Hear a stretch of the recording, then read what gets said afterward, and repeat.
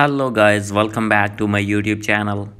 So guys in this video i'm going to show you how to fix it you can't use this feature right now on messenger. So when you have open your messenger and want to log in your account and when you have log in your account facing this type of issue again and again i'll help you how to fix this problem. So let's get started without wasting any time. First of all you have to go back on your home screen and guys now you have to open your settings scroll it down click on general and from here you have to click on VPN device management. So guys if you have connected any kind of VPN here you need to disconnect that VPN after doing this you have to go back.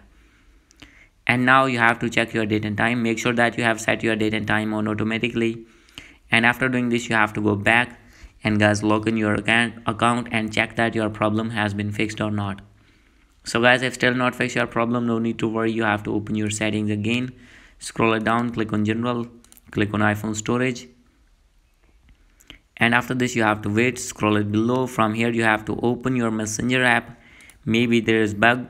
So you simply you have to offload your app. And after doing offload you need to reinstall again. And guys after this you need to log in again and check that your problem will be fixed.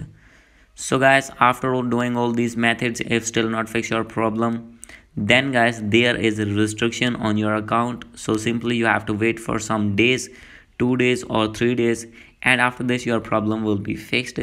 So guys if still not fix your problem you need to open an internet browser. And guys after opening your browser here you need to search. So here you need to search messenger support so after this you have to contact with messenger help center and guys after this you have to tell them your problem with support team and they will review your problem and they will fix your problem. So guys this is the video. Hope you like this video. If you like this video please do subscribe my channel. Thank you